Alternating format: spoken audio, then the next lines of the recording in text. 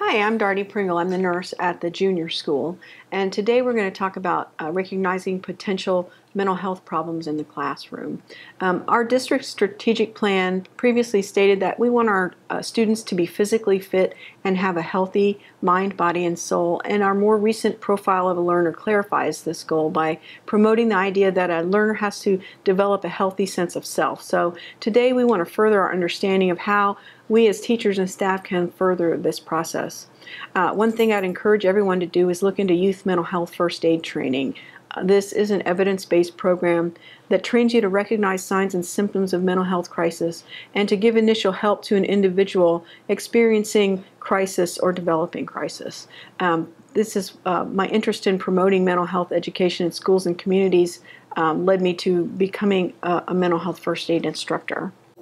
So first we want to talk about what, what a mental health disorder or mental illness is. Uh, it's a diagnosable illness that affects your thinking, emotional state, and behavior and disrupts your ability to work, uh, carry out daily activities, and engage in satisfying relationships.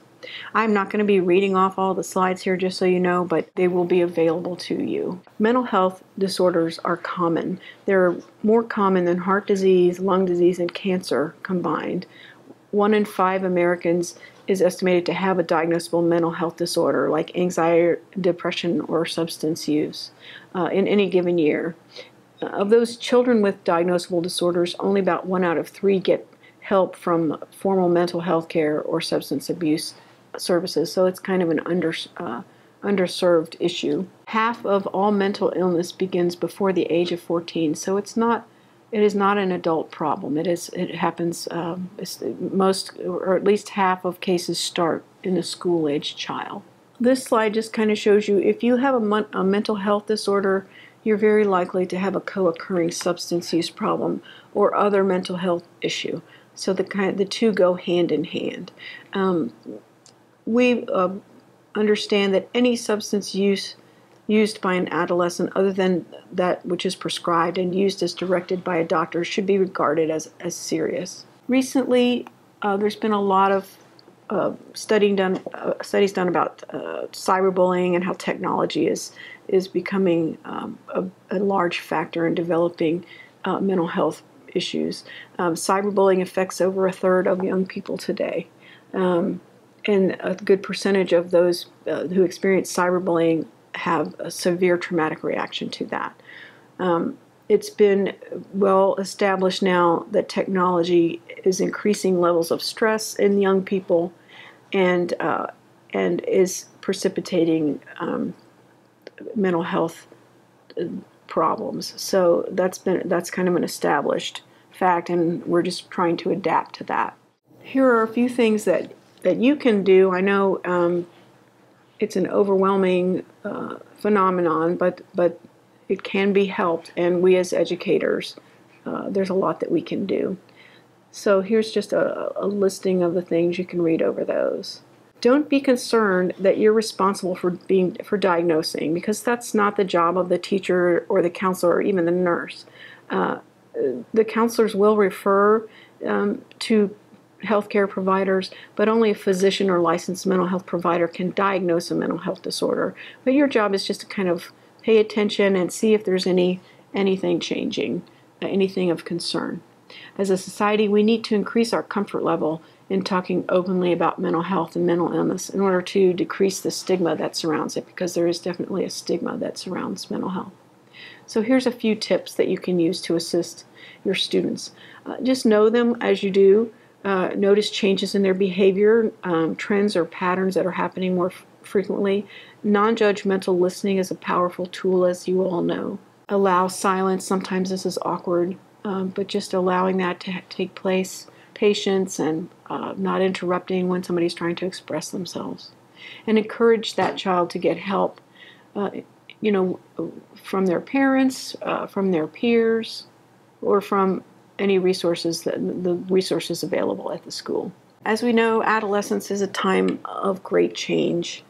Um, there's physical, social, and emotional change, and sometimes you wonder, uh, you know, if what's going on is normal or if it's not normal, and sometimes it's difficult to tell the difference between what's normal and what's not. So here's a way of kind of determining that. Symptoms in developing mental health challenges can be similar to normal development. An adolescent child will experience withdrawal and uh, from family to spend more time with friends and that's a normal behavior.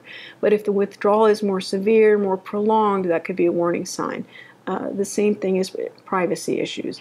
If uh, you know the need for privacy becomes excessive and prolonged that may be uh, concealing that, that, that teenager may be concealing some kind of substance use or developing symptom of mental health challenge. So what you want to do is focus on the impact of the change on the young person and and the time factor. Um, notice if they're struggling with school, if they're avoiding social engagements, uh, if they no longer enjoy the things that they used to enjoy. We're going to review some self-help strategies, risk factors, and protective factors. There are numerous self-help strategies uh, that on a daily basis we encourage young people to try. Just keep in mind they should be uh, interesting to the individual child, encourage a sense of achievement and satisfaction. They should be social and not, you know, uh, individual, and they should be safe, of course. There are so many risk factors in adolescence, um, as we all know, and this, this, is just a few of them. Um, recent studies have shown that it's the dopamine that you get from taking the risks that the that uh, encourages the behavior. Um, previous studies have said it's because the brain is not as developed, and there's emerging studies that show that really what's happening is the is the dopamine response is just a very attractive uh, and addictive type of thing. So here are protective factors that promote resilience and recovery in young people. So it's important for you to look at all the things you're doing right because we as educators are doing a lot of these things and we're doing them very well here. Uh, you're not here to, to diagnose and counsel, but you are the front line for recognizing when something may be going wrong. So use your counseling and health and wellness resources here in the district. Uh, employing mindfulness practices has proven to help students be more resilient and you can uh, there's there's all kinds of mindfulness resources now. It's kind of a big thing. Everyone has a story and you don't have to know that story but be aware that outside the classroom your student's life may be out of control. It's very important also to take time for self-care. Teachers and caregivers are notoriously reluctant to put themselves first when it comes to their own health and well-being. And it's important to know that you will do a better job if you give yourself time to nurture your own interests and connections. So let's just review uh, depression a little bit. Uh, these are the signs and symptoms of a major depressive disorder. If you notice the first two symptoms as well are primary, and if you see those for more than two weeks, then you might think that uh, that this teenager is uh, dealing with a major depressive disorder. So here's what you might see at school. And I'm not going to spend a lot of time on these. You can freeze these slides later to look at them. Here's what you might see in a social setting. And here are uh, risk factors for depression. We're going to move very quickly to anxiety now. We're going to talk about anxiety. Um, anxiety uh, can look like a physical problem, so it's important to determine whether that student is in fact experiencing a physical problem or not. If you do feel like they're having a physical problem, then you can send them uh, to the nurse. If you think it's a, a serious uh, physical problem like a cardiac event, uh, then you can call EMS. Um, you can ask that student, have you had an anxiety attack before? Do you think this might be anxiety? It's okay to talk about that. And they may tell you, yes, I do, I have anxiety. And then you'll know what you're dealing with. Anxiety disorders are caused by a co combination of genetic, biological, psychological, and environmental factors. So they're not the result of weakness or character defect or poor upbringing. They're just they're very complicated uh, cause situations. It's important to understand that recovering from mental health disorders is not just a matter of will and self-discipline. These, this is what you might see at school. Anxiety is a common issue with school age kids. There's a lot of stuff going on. Uh, there's a lot of over competition academically, and that can lead to stress and burnout.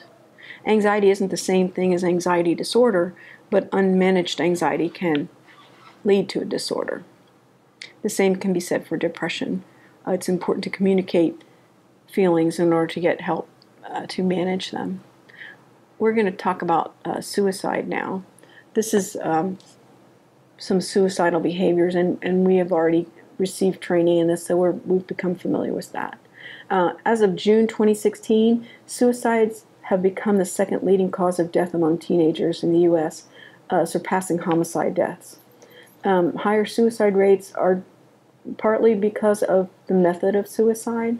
Teens who complete suicide are increasingly using lethal means like suffocation and firearms. Um, and there's a rising rate among teenage girls. Uh, the overall mortality rate for teenagers on the good news side has fallen more than 30% because of the declining rates of death by motor vehicle crashes and gun violence. Here are some more suicidal behaviors. Here are some things to do uh, if, if you um, encounter somebody that you feel like is, su- is suicidal. You shouldn't try to debate the value of life with that person or try to try to help them fix the problem right then and there. And you shouldn't minimize their problems. This is where the active listening comes in and the non-judgmental listening. So here are some actions to take if a student does threaten suicide. There is a big difference between a suicide cluster effect uh, which is when a group of suicides happened in a, in a school or community, and asking an individual if they've contemplated self harm or suicide. Asking a student if they've thought about harming themselves or killing themselves is not going to put the idea in their head. It is going to give them an opportunity to voice any thoughts they may be having and receive appropriate help. Uh, it's a difficult word to say, but we should avoid euphemism in talking around the issue. Uh, we should not say, Are you thinking of hurting yourself? instead of, uh, I'm sorry, um, we should ask, Are you thinking of hurting yourself? instead of, Are you thinking about doing something stupid? We should say, Are you thinking of killing yourself? instead of, Are you thinking of ending it all? We want to be direct with them and honest with them. We don't want to scare them, but if they're already thinking about it, uh, it will be a relief for, for them to to hear you uh, verbalize that thought. Here's some uh, numbers to know, and this is going to end our, uh, our presentation. Thank you so much for listening.